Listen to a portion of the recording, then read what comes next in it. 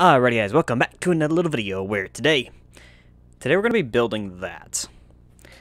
So essentially to give you guys kind of a um, understanding what we're going to be doing here today, that is a full custom hardline liquid cooling loop. That is a all-in-one kit that I wanted to do a build and review of today. So today's video is probably going to be a little bit on the longer side. Um, I haven't fully edited it out, so I don't know exactly how long it's going to be, so um, yeah, hope you enjoy, and hope you guys can learn a thing or two, because honestly, I had a lot of fun doing this one. Like, I had a lot of fun doing this one, so, um, yeah. By the way, please ignore that absolutely terrible bend between the CPU and the radiator. I ran out of tubing. and so it was just like, uh, okay. But I digress. Let's get into it.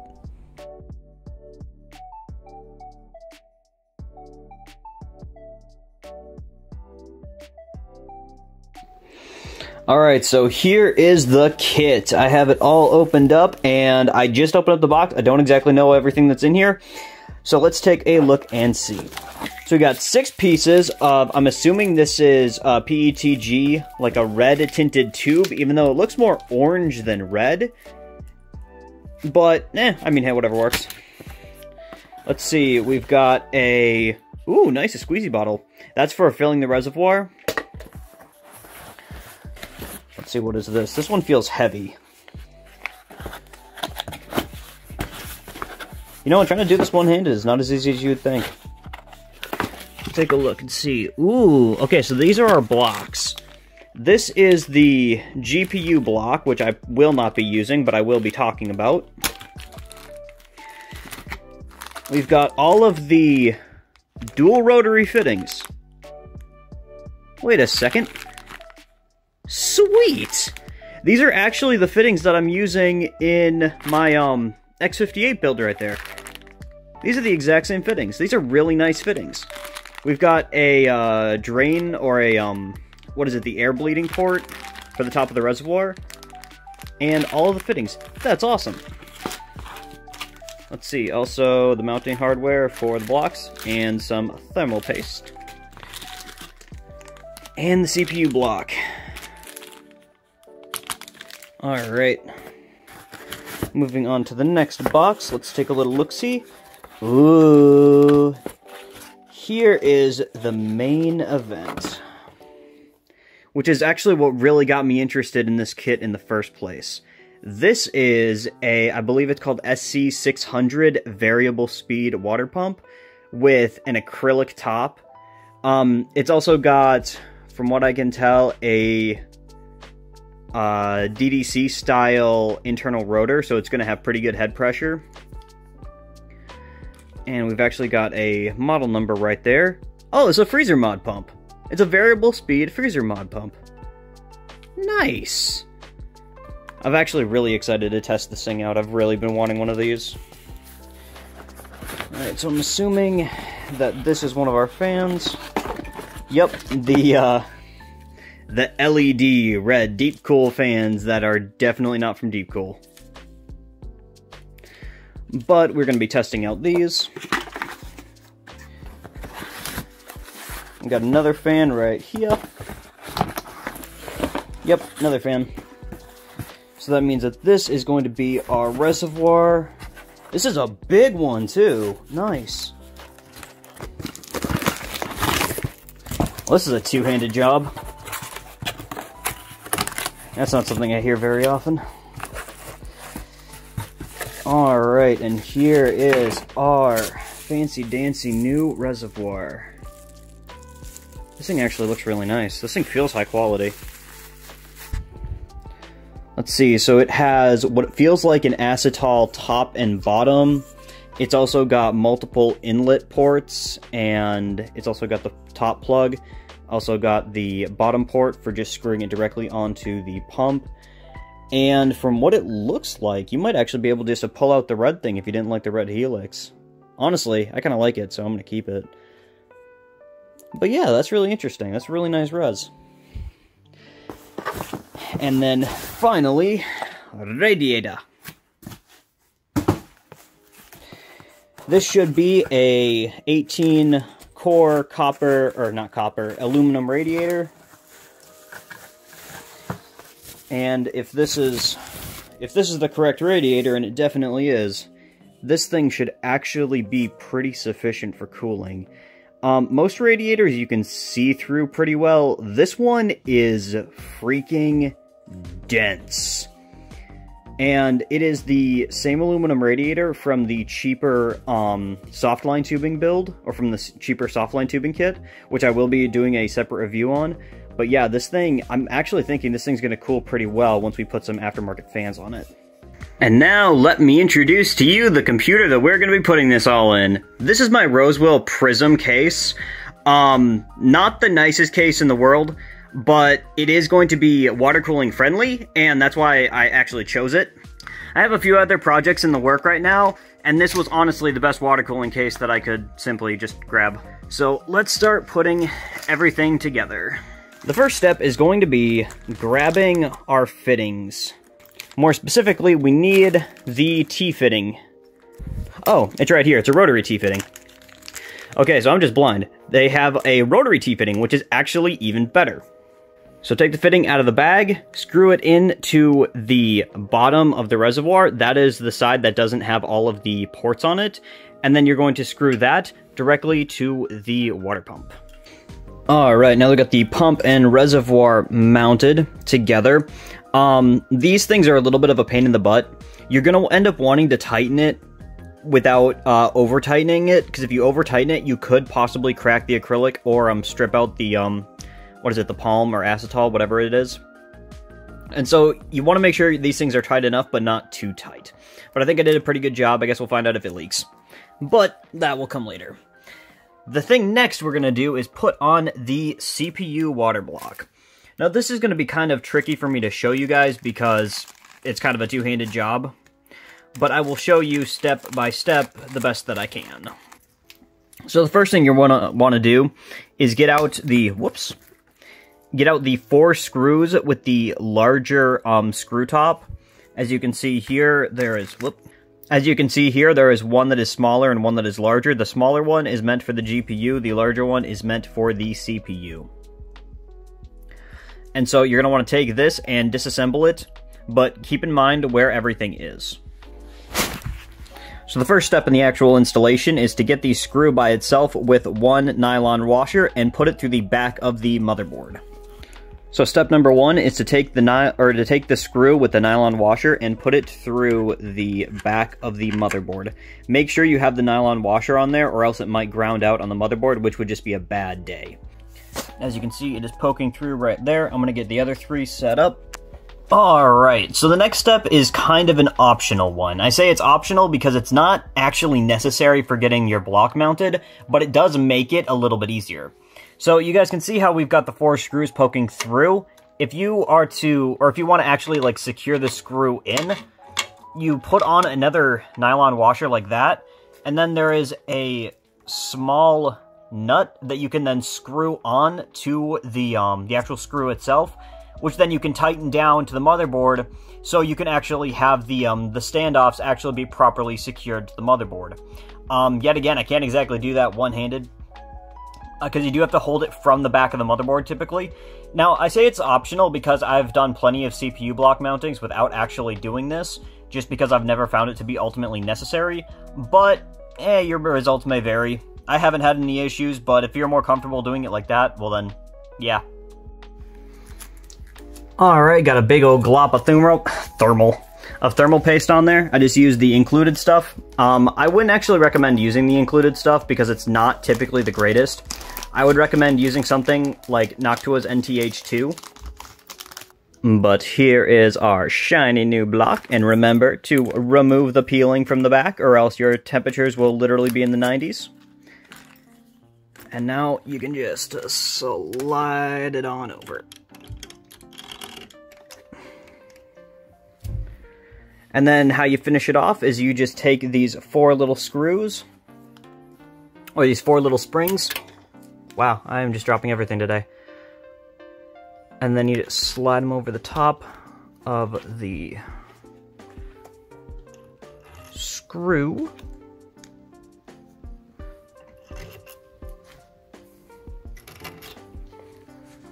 And then you take your larger nuts,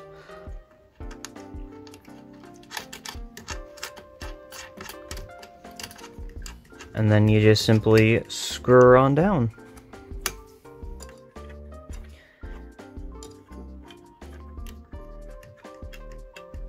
There we go, that should be good, tightened down. Give it a little wiggle to make sure that it's not actually going to go anywhere. And then that should be good. Okay, so the block is installed. Um, let's see, what is next? We could probably get the radiator mounted. And actually, I should go flush this thing real quick. Um, for new radiators, typically the best course of action is to actually go and like take it into a bathroom and just run some sink water through it. Yes, I know technically that isn't the correct thing to do. You should be using distilled water. But as long as you're not like having sink water running in your loop, you should be fine. Um, I've done this many times and I've never had any growth in any of my loops. Whoops. I'm just using normal distilled water. So I'm going to go wash this thing out real quick and then I will be getting it mounted into the case. Alright, so I got the radiator all flushed out. There actually wasn't much in the way of flux inside of it, so that was pretty good. Okay, so how you mount a radiator is you've got to find the baggie of radiator screws, obviously. Whoops. That wasn't supposed to be in there. And you want to take the essentially the long radiators are for going through the fan into the radiator, but then the short fan or the short screws are for just going through like your case and screwing the radiator directly onto your case. It's essentially like screwing on fan, or it's like screwing on fans, honestly, so it's not very complicated. But I'm actually going to put my radiator in the back here, in where the uh, 240 millimeter mount is. I could mount it at the bottom here, because this can take up to a 360 rad, but I figured it's going to look better for the video for up there. Also, just as a quick little side note, remember to use the correct size screws, because if you don't use the correct size screws, you could end up puncturing the radiator, causing the radiator to leak. So these screws are actually set to be the correct size. But this is essentially where the radiator is going to be and where it's going to be set up inside of our case. Alright, now that I got the radiator mounted, let's talk about pump mounting brackets. So they end up giving you two of these things, and it is ideal to be able to use two, but not all cases are going to have little spots to screw these in. Um, my case actually luckily does have some pretty decent spots. Essentially, you just screw it in from one side and hold the um, the other side, which is just a nut with like a pair of pliers or something. I'm not a huge fan of this mounting system, primarily because it isn't the greatest thing in the world, but it does work. Um, I haven't had any problem with these things ever falling on me. But if you have a better spot to mount a pump, uh, it can be a lot easier, or just to buy a 120 millimeter fan adapter to a pump mount, and then you could mount it directly onto the radiator. Evidently, you can do the same thing with this, but I'm not exactly sure how, unless you're just like letting that overhang by a whole bunch, or like mounting the pump sideways. That'd be weird. I don't know. But yeah, I'm just going to be mount mounting my pump right in the front of the case. So you're given two sizes of screws for mounting the pump.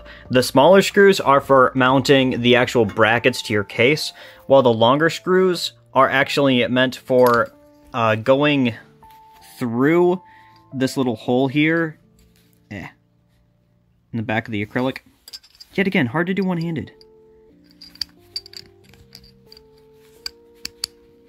There we go you kind of like screw it in from the back there, and then you have a nut that you'd have on the other side of this to essentially uh, screw it into. And then your pump is just hanging there off of uh, the two metal brackets. And yes, I would recommend using both of them because um these things can get kind of heavy when they're full So I'm going to get that mounted up really quick.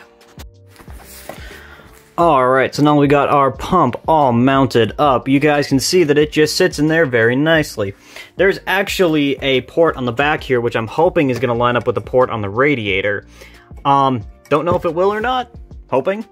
Um, and that honestly is one of the parts about doing hardline tubing is you never really know if it's going to line up perfectly until you do it. But that'll be uh, something that we'll tackle next or that will be something we tackle later. But for now, I'm just going to put on these red LED fans, and we will be testing with these fans plus some actual high quality, high pressure fans. I'm not holding my breath on these ones, but I want to give them a shot just to see how well they are going to do. And to mount the fans, you just need the longer screws that go directly through the fans into the radiator. Alright, I have got the found founds. I've got the fans in there and mounted. I have the pump bracket mounted. And then I started putting in the fittings. These fittings are, I think they're called dual rotary fittings, uh, or two-touch rotary fittings. So essentially you want to take off the top hat and keep the top hat plus the O-ring that comes with the top hat, keep those separate, and then screw these into all of your ports where you're going to need, uh, well, liquid cooling. And these are all standard G-quarter fittings. Um, I'm sure I'm going to talk about this in like the in-depth analyst or the in-depth analysis of this kit, but everything here is standard G-quarter fitting, standard literally everything. So I'm going to get all of the fittings in place and where I want them, and then we can start bending tubes.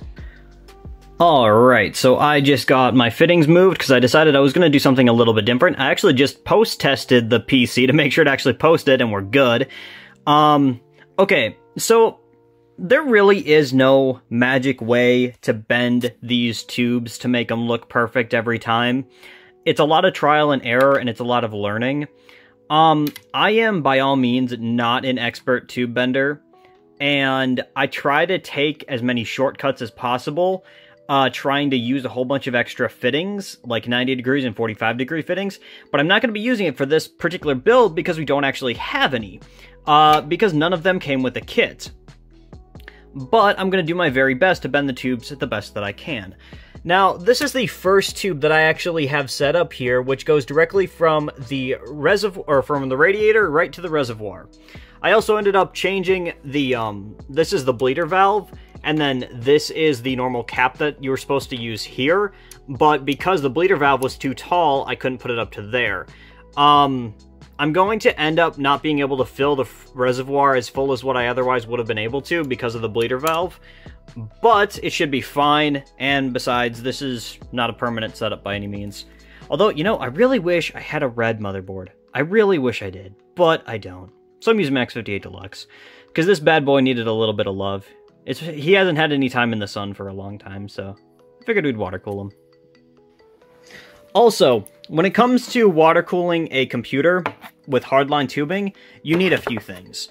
First of all, you're gonna need a heat gun. Um, this is just one that I grabbed off of Amazon for like, I think it was like 20, 30 bucks. And then also, you're going to need some extra bits and bobs. These are, um, this is a deburring tool, and this is a tube cutting tool. This is a 14 millimeter silicon insert for a tube, and then these are some actual, like, uh, bending aids. Actually, you know, these might actually come in handy. I've never used them before. They might actually work. All of this stuff that I have right here actually came in a kit. Um, I will be putting links down in the description below to stuff that I use. Um, you could probably find better deals, like, I know you can get cheaper hot air guns than what I did, but I will be putting this kind of stuff down in the link in the description below. Unfortunately, it is kind of necessary, because if you try to bend the tube without a silicon insert, you will just crush the tube. The tube won't hold its shape. So you need to have the silicon insert to make sure the tube holds its shape. And yet again, I'm not an expert tube bender, so probably go and watch somebody's video on how to bend tubes really well, because that's not me. But um, I'm going to get to bending tubes, and wish me luck. Alright, so I got some distilled water, and I've got my fill bottle. I'm just going to fill this up, and I'm going to start filling up the reservoir from this hole right here. Also, never, ever, ever let your pump run dry. It will kill your pump very quickly. If it happens for like a half second, you're probably fine. But I say probably because I've seen pumps die by just simply being powered on dry. So always make sure you've got water in your system before you turn on the system with the pump connected.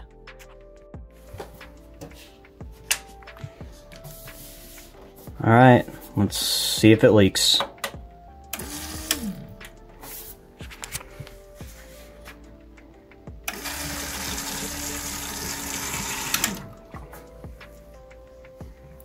Hey, no leaks. Even though this tube looks absolutely hideous, it did not leak. Alright, let's get the rest of the system filled up. Alright, so I got the loop fully filled and ready to go. I also installed Windows 11, and yes, you can install Windows 11 on an X58 PC with a modified installer, or a modified installer. And I also installed Unigine Heaven as well as Hardware Monitor.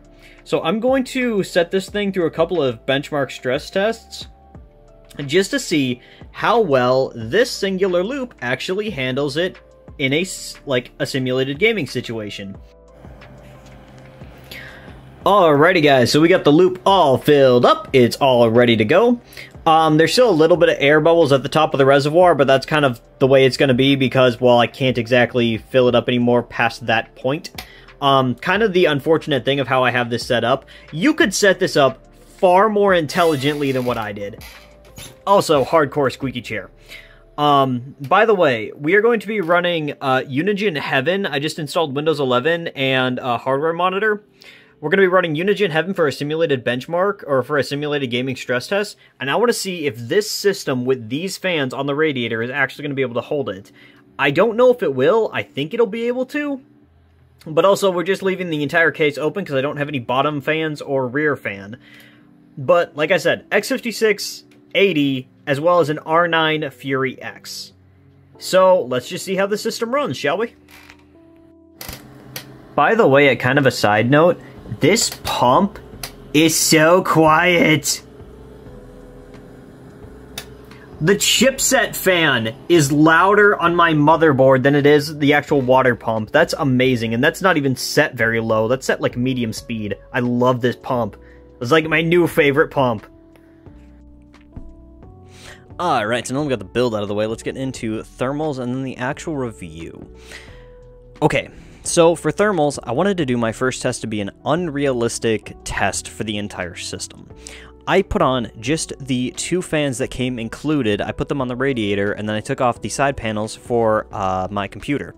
Now, those were the only two fans in the entire system besides the chipset fan and the power supply fan. And, um, it actually performed a lot better than what I thought it was going to. I ran Unigine Heaven for about 60 minutes for each test that I did, and the hottest CPU core peaked at 60 degrees Celsius and the hottest GPU core peaked at 52 degrees Celsius. That is rather impressive, especially being the fact that the CPU is using rather thermal paste. I would consider that to be an actually really good showing for the entire kit. When moving over to um, the second test that I did, as you guys can see behind me, the entire system is full of Cool Moon fans. Now, Cool Moon fans are not exactly high static pressure fans, but they do move a pretty good volume of air. They are designed to be airflow fans, and I've used them in water-cooled systems in the past, and they've performed relatively well. So with a kit of six fans, I ended up uh, dropping my CPU and GPU temperature 2 degrees. So the CPU's hottest core ended up peaking at 58 degrees Celsius, and the GPU's hottest core peaked at 50 degrees Celsius. Which I know, yet again, is not an ideal situation, but that's relatively impressive when you consider the fact that this is an R9 Fury X. It's a hot card. That's why these cards originally came with uh, AIO liquid coolers on them. And yeah, honestly, even even just adding in some additional case fans, I would have no problem running this system 24-7 in its current configuration, and leaving it in the configuration that it's in right now, yet again, I, I don't see a problem with this. I was originally planning on then doing a third test, putting on some high static pressure fans to see how much the temperature could drop, but I just kind of decided against it because I didn't think it was ultimately necessary. And now let's get into the actual review, because I think that's where the real value of this video probably lies. I really like this kit. I really, really like this kit. There's a lot of parts about this kit that honestly really appealed to me. You can buy this kit off of Amazon in a green color or off of eBay in a red color. Um, it kind of varies on the colors you're going to be able to find because there are they are essentially Chinese OEM kits. Um, but you can find them for about $150 off of Amazon. For that price, you're getting a decent amount. A 240 millimeter 18 row aluminum radiator, which performs very, very well. eight really nice fittings. Remember, I did say that these are the same fittings that I have in my main rig. I now own 18 of these fittings, and I'm not disappointed by that. I use them in my main X58 rig because I've never had any trouble with them. I've never had one leak, I've never had one with a busted O-ring, I've always had good luck with these particular fittings. Not to mention the fact that this kit then comes with tubing and a really nice pump and reservoir combo. I made a mistake. Um, the pump does make a little bit of noise. It does vibrate a little bit, but it is hard mounted to the side of my case. If I would have uh, mounted it differently with um, the anti-static vibrator pad thing, um, if I would have mounted it using that, then the vibration sound from the pump would have been significantly more muffled. But still, the chipset fan was louder than the pump itself. So that does kind of lay credence to the fact the pump is relatively quiet, and properly mounted, you probably wouldn't even hear it. And now finally to, I guess, kind of like the two disappointing things about this kit is the GPU water block, which I will talk about here in a second, as well as the thermal paste for the CPU. As I talked about in the thermal section, the CPU is running way hotter than the GPU. 10 degrees is not really margin of error. 10 degrees is hot, and the GPU or the CPU should not be running that hot. If I were to replace the CPU's thermal paste with something like GD900, I'm sure that the temperatures would have been 5 to 8 degrees Celsius cooler. And if I would have used something like Noctua's NT-H2, which is kind of like my long-term use thermal paste that I like to go for, I honestly, I'm sure that the thermals would have been significantly better, where the CPU would have been running a lot cooler than the GPU. But with that being said, this is simply included thermal paste. And yet again, thermal paste is pretty easy and readily accessible. Speaking about being readily accessible, let's talk about the fact that this entire kit is modular in more than one way. All of the fittings are standard G quarter fittings, meaning that you can use them for whatever water cooling endeavors you want. All of the tubing is 14mm by 10mm tubing, which is a standard size tubing for hardline liquid cooling tubing. Uh, the CPU block can be used on pretty much all platforms except for AM4 and Threadripper. Yeah, I don't know why you'd ever try and stick one of these things on a Threadripper system. Um, yet again, the only downside of that water block is that it doesn't fit on an AM4, which I know doesn't really affect me, but I know for other people it is kind of a drawback. But with that being said, everything is modular.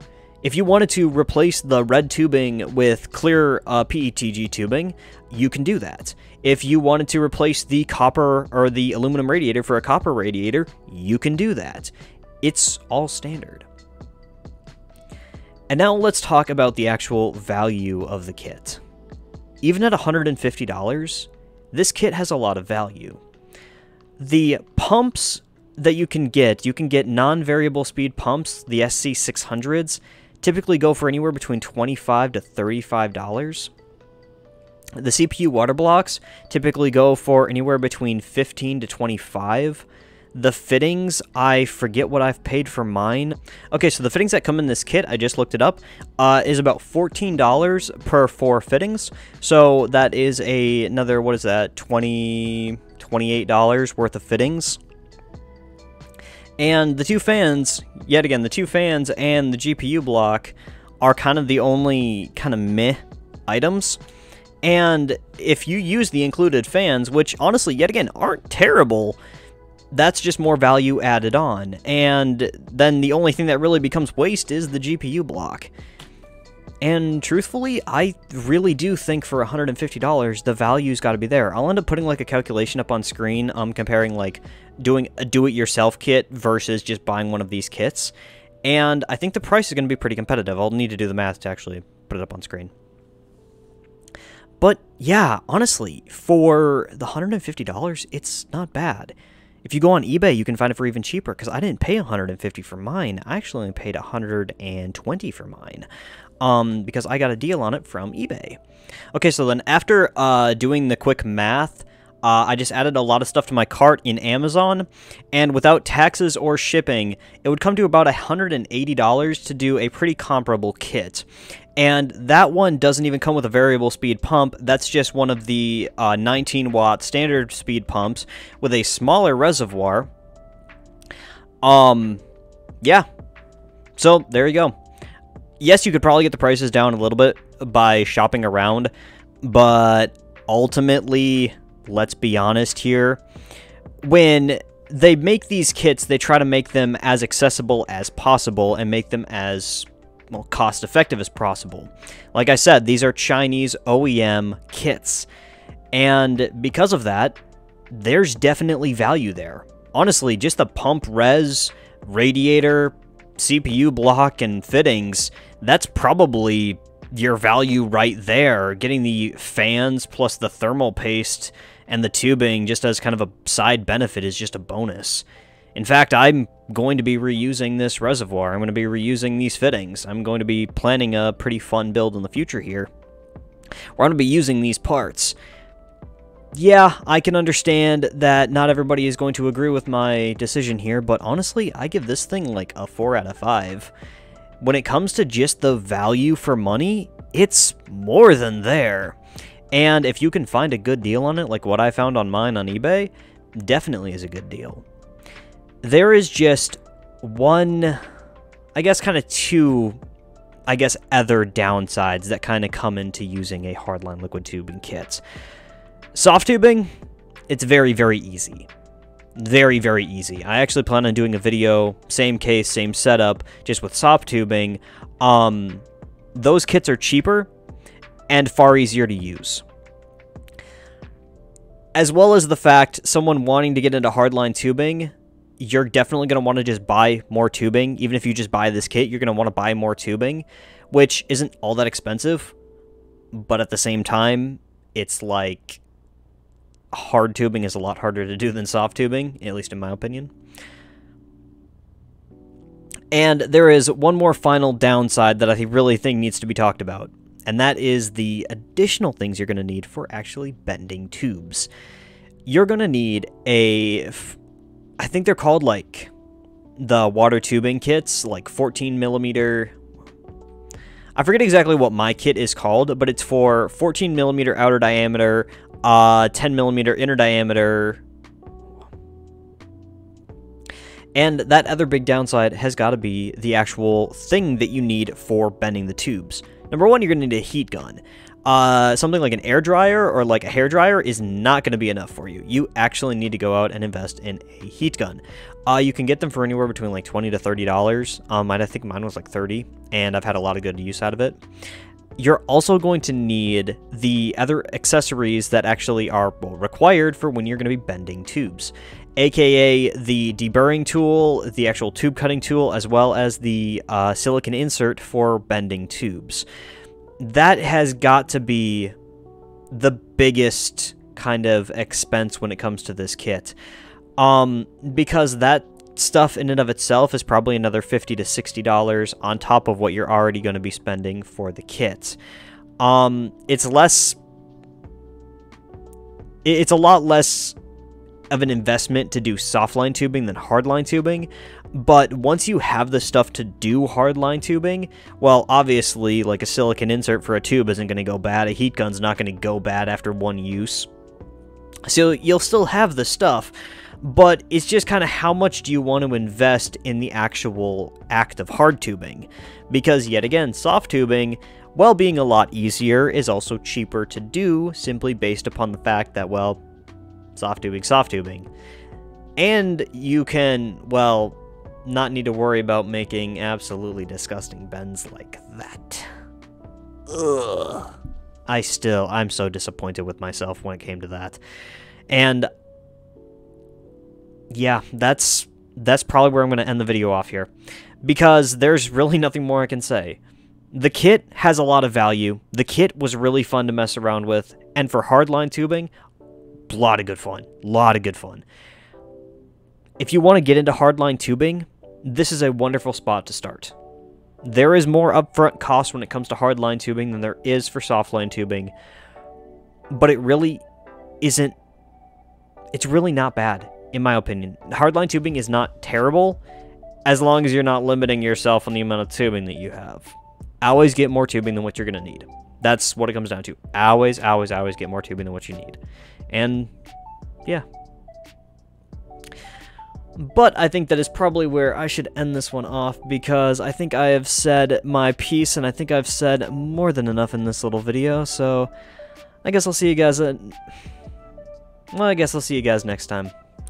Cruz.